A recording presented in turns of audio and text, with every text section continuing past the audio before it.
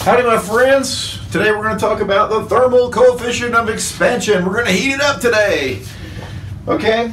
If I take any kind of material, right, aluminum, bronze, or stainless, this thing is built out of three different materials, and I start increasing the temperature, what happens to the little molecules inside there? They start getting excited, right? They start getting a little bit farther apart. The thing starts to grow, right? We know that. As, as you freeze something, it starts to get smaller, right? So the thermal coefficient of, uh, of expansion takes into account that material as it gets hotter is going to get bigger, right? It's going to grow. Okay, and what do we call that growth? Remember, we call it delta, just a change in length, right? If you remember from last, so this is a new equation, isn't it? By the time we get to the end of the book, to have 100 equations, y'all. So delta equals alpha delta T times L. So this is the equation for thermal expansion. So this is a look 'em up value. Every material has a known value. You can look that up in the table in the back of your book. Delta T is simply the change in the temperature. It goes from what to what.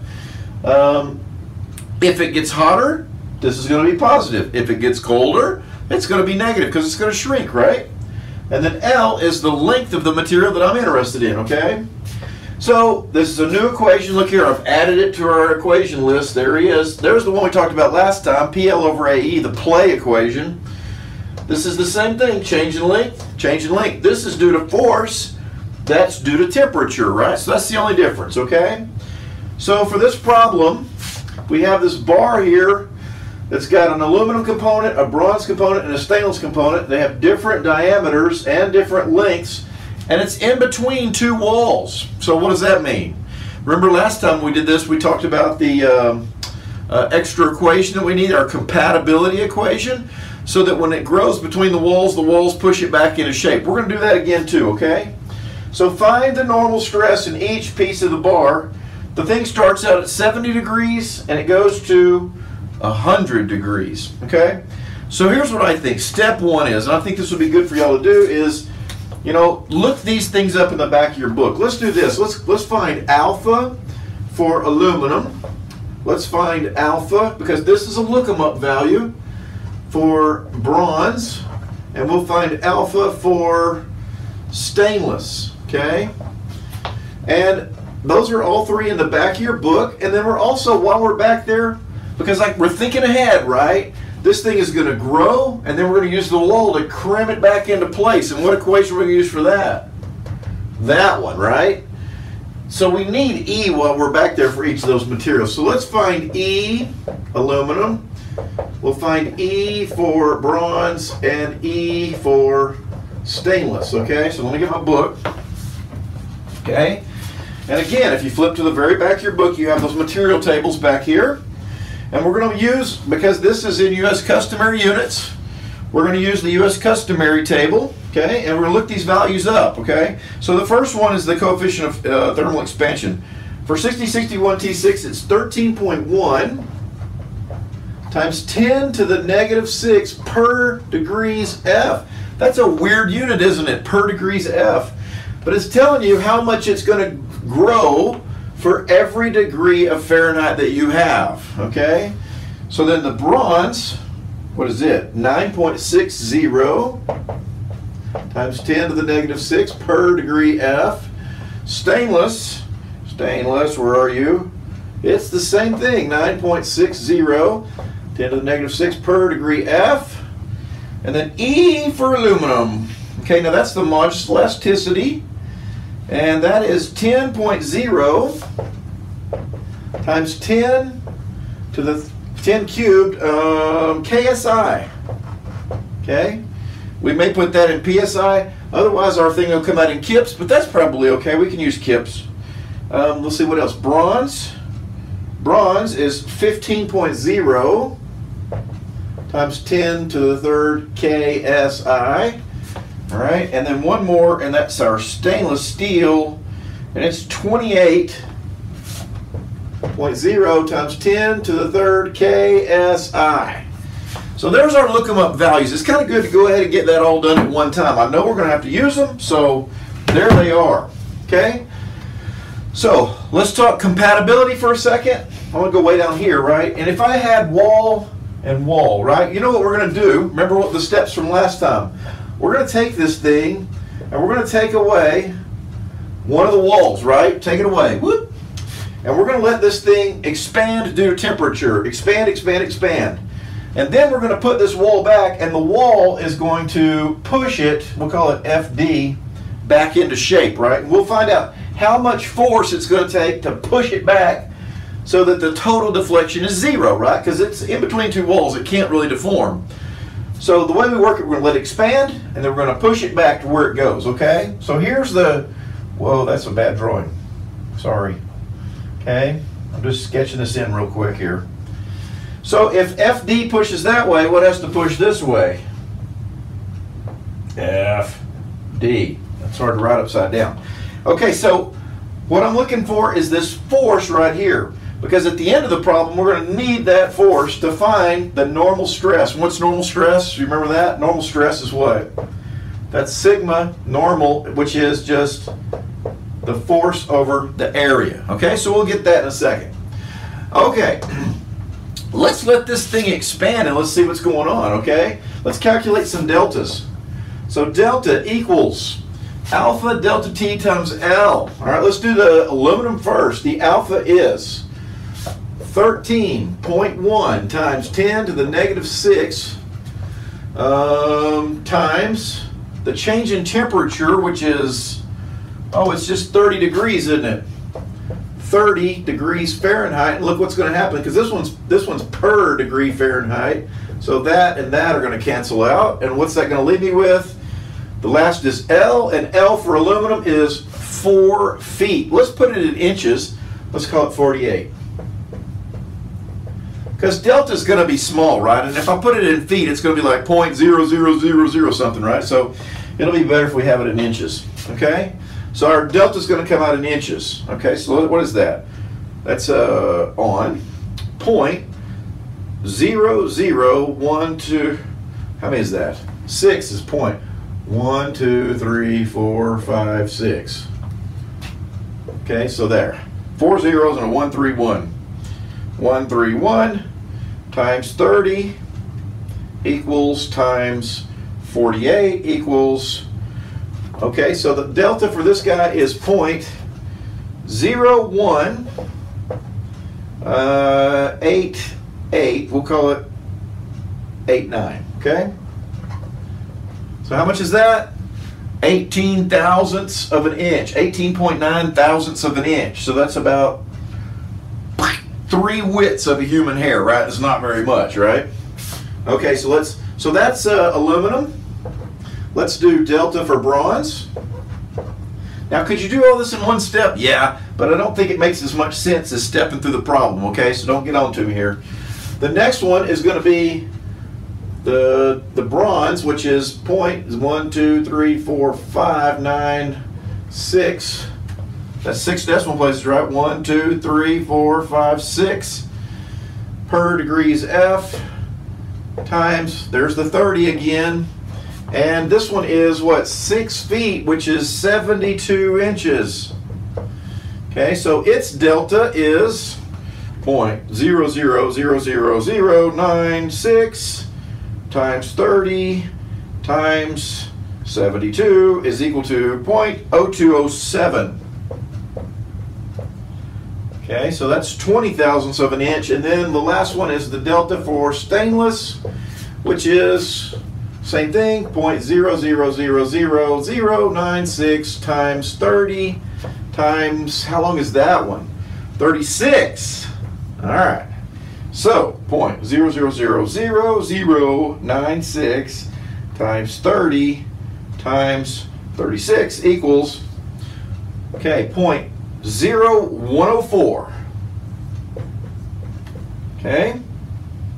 Now, so that's how much that the aluminum grows, the brass, and the stainless. So if I add those three together, I'll get the growth of the whole thing, right? So plus 0.0207 plus 0.0189 is equal to 0.049968. Let's call it 0.0500, okay? Okay, nose itching. So that's the total delta that the thing is going to stretch, right? And so now we need to conform it and push it back into shape. How are we going to do that?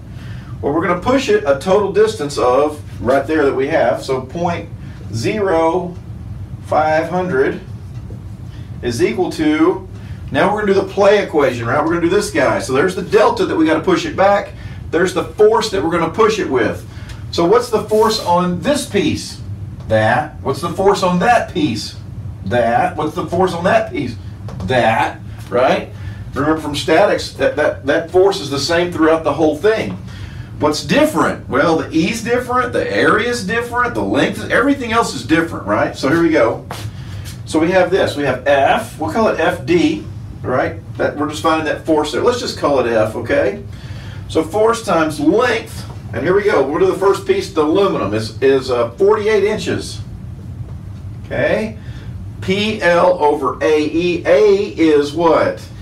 Well, it's going to be pi times 6 squared. Okay? And then we have what? E, which is uh, there, which is 10, 1, 2, 3, and that's KSI. This is inches squared, right? This is this is kips over inches squared. So the inches squared cancel out. And then what does that mean? I've got an inch over there and an inch over there. That's going to cancel out. It's going to leave me with kips for F, right? Okay, so there's one of them. Plus F times, what's the next one? Bronze. Okay, so PL, what's L? L is uh, 72 over A is 4 squared pi times 4 squared, and E is 15, 1, 2, 3. Okay?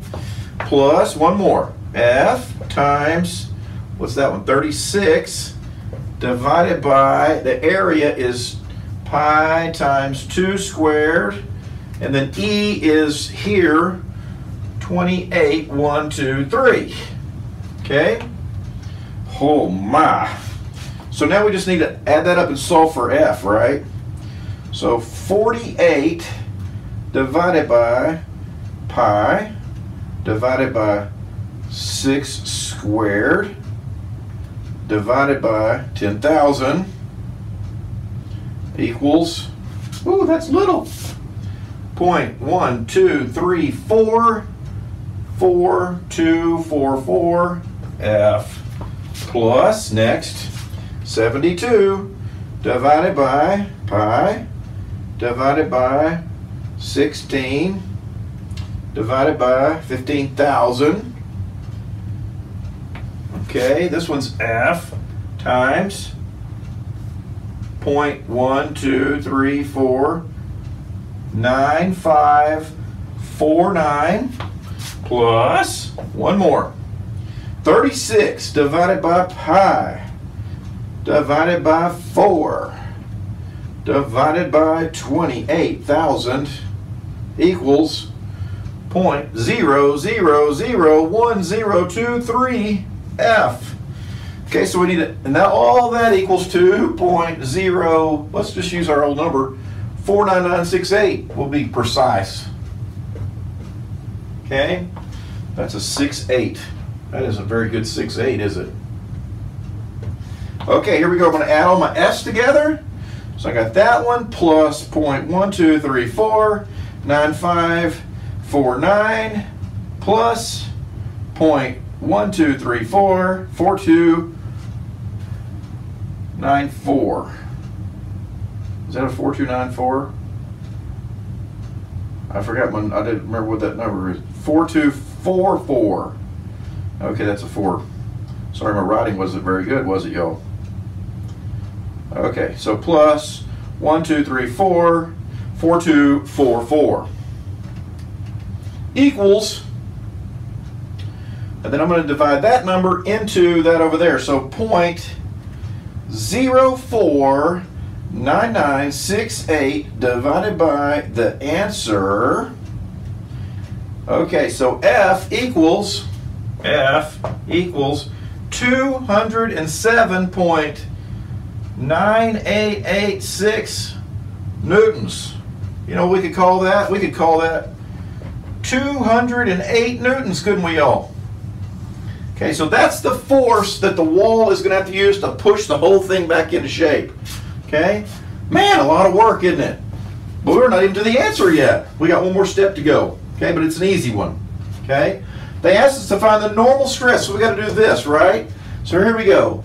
The normal stress in the aluminum is equal to the force in the aluminum, which is, bam, 200. Did I put newtons over there? Sometimes I lose my mind. What is that, y'all? That's kips. Kips. What is wrong with you? Okay, so 200 and uh, now I can't remember, 8 kips divided by, and what we're going to have over here? We're going to have inches squared for area, right? And that's going to leave us with KSI. That's good stuff, right? So the area for this guy is, uh, I don't even know, pi times 6 squared, right? And that's going to give us KSI, okay? So that's kips over inches squared. I'm running out of room here, aren't I? Okay, so 208, 208 divided by pi equals divided by 6 squared equals 1.84 KSI. Sigma bronze equals 208 divided by pi times 4 squared. Okay, so 208 divided by pi equals divided by 16 equals 4.14.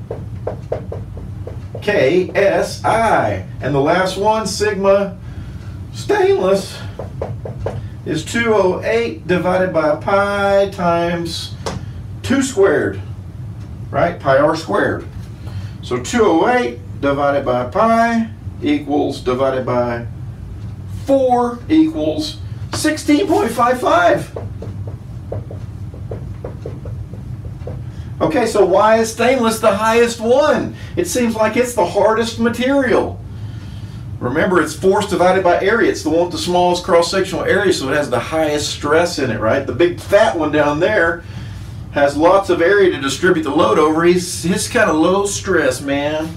Okay, so that, my friends, is the final answer for that, and that is how you do that, okay? Thermal expansion, right? It seems easy, but you can incorporate it with all these other equations and turn this into a mess.